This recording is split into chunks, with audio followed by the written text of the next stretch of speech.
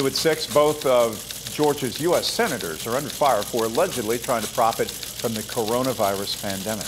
Records show that Senators Kelly Loeffler and David Perdue bought and sold stock shortly after a private Senate briefing on the virus, a classified briefing.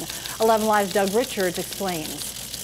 In the days before he showed up at the state capitol March 2nd to sign up for reelection, Republican Senator David Perdue's financial portfolio was very active, according to reports Perdue filed with the U.S. Senate Ethics Office. And in that same time period, the same records show that Republican Senator Kelly Loeffler and her husband Jeff Sprecher were even more active.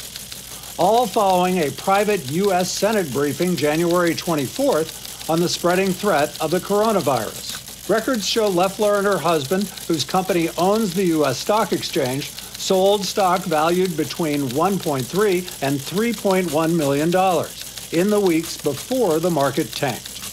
Records show that Perdue didn't sell nearly that much, but he did purchase between $63,000 and $245,000 worth of stock in Pfizer, a pharmaceutical company now developing a coronavirus vaccine.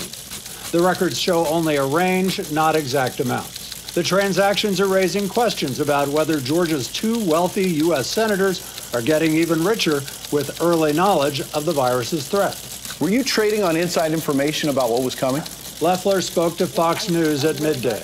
I'm only informed of my transactions after they occur, several weeks.